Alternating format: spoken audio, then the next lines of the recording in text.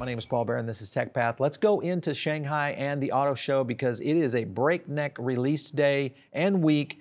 We're dropping videos left and right of all of these all of these new cars, and this is both American-made cars, Chinese-made cars, Japanese-made cars, all dropping in Shanghai right now, right there on the coast of China, uh, around what was, and I think some pent-up demand for the automotive industry to kind of start moving in this direction. But Hongguang, which was the number two selling vehicle, electric vehicle in China behind Tesla for 2020, has dropped a new vehicle called the Mini EV Cabrio concept, the Freze Froggy. That's actually the name of this thing. It's the Freze Froggy. Let me go into this.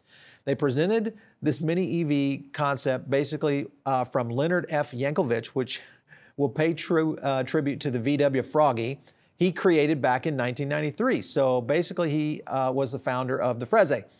Uh, this I like. Uh, I like these homages and this whole play on, you know, just having fun in this space. I think you can go a little too far on this, so, you know, just keep that in mind. Uh, but overall, the idea is how do you displace Tesla from the number one selling? Because this year, Tesla's probably going to double up again in China, going from about 130,000 vehicles to maybe 200. 50,000, quarter of a million. Uh, so everybody's chasing Tesla right now, including BYD, NIO, you name it, Xpeng, etc. Hongguang is right on their tail, of course, as the leader. Uh, the electric brand belongs to Dartz, which will soon sell the Nikrob EV as the most affordable EV in Europe. So they're breaking into these other markets right now, which I think is a really good thing because Xpeng has done a great job in Europe around breaking into countries like uh, Norway. Norway is the big one uh, and also Germany. Uh, so the fact that the Nikrob is going into um, EV, uh, into Europe as the most affordable EV, big deal because there are some heavy competitors in Europe for the EV business. Still one of the largest uh, adoption rate areas regionally or uh, geographically in the world uh, when you look at the tightness of that market across all of the European Union, whether it's Norway, Switzerland, um, and then also Germany and even the UK. This is a big market for the globe, and it's obviously why you know Tesla and uh, many of the Chinese automakers are dropping in um, these cars. But obviously, Tesla with Giga Berlin going live is right; they're going to be in the mix. So we're going to see a lot of this kind of moving in that direction. But at the same time, you're dealing with Volvo and also VW in that market. So a lot having heading in that direction. A dealership network for this brand is already being developed and that the company will probably create charging stations as well. So they're going the direction of almost every other EV maker, which is kind of creating these islands out there. I wonder how far this is going to go with companies like Rivian, Tesla, Porsche, Mercedes, pretty much everybody that's going to have their own charging network.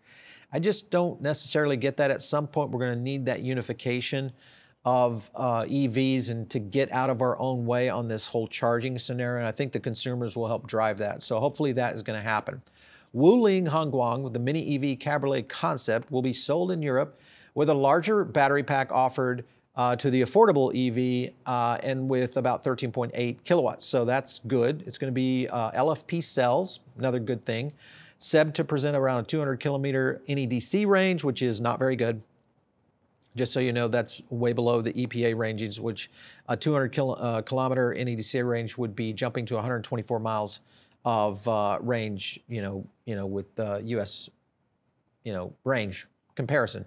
The top takes less than five seconds to completely retract, uh, where the conventional Mini EV has its rear seats. So it's basically going to that cabriolet style for the two-seater. Very similar, I would think, to kind of like the Golf or the Jetta or any of those uh, convertible cabriolets that VW was so, you know, good at producing. Uh, so we'll see. You know, I like the fact that they've kind of done this. Uh, the Yankelovich expects to be able to sell it for around uh, 20 grand uh, Europe. Uh, Europe, uh, the Euro, which is 24K, uh, costing about twice as much as the Freze Nikrob EV entry-level version. So again, another big advantage if you're looking at low-cost vehicles, which is a big deal in Europe. And if this is a market that they're targeting, which it is, I, I think this could um, be very interesting uh, in a very big way, depending on when they release it, because there's going to be a lot of competition in Europe for this. The good thing is that everybody's winning on this. The consumers are winning because we've seen so much innovation in the automotive. The thing is, is that we're seeing automotive innovation coming from the non you know, industry and non-legacy brands, which I think is going to really, in a way, kind of get the market a little muddy in the sense of consumers trying to figure out which way to go. At the end of the day, range is going to win, price is going to win, and I think brand is going to win as we start to see these things kind of break out. But this is going to be one of the cheapest convertible cars for sale in Europe and one of the only two options that will be available. So that in itself is going to be an advantage. The other one is the Smart uh, 4.2 Cabrio, which sells for 25 or 25 euros, uh, 25,000 euros in Germany. Uh, so that's basically your competition. So I think they're targeting maybe slicing out a part of the European auto market from an EV standpoint that people want these, uh, you know, these cabriolets, these convertibles that are really kind of cool. And we'll see how this one uh, pulls out, uh, how the mini EV cabriolet concept can hold its own in Europe. Okay, so you're listening to this over on the podcast. This was a short one.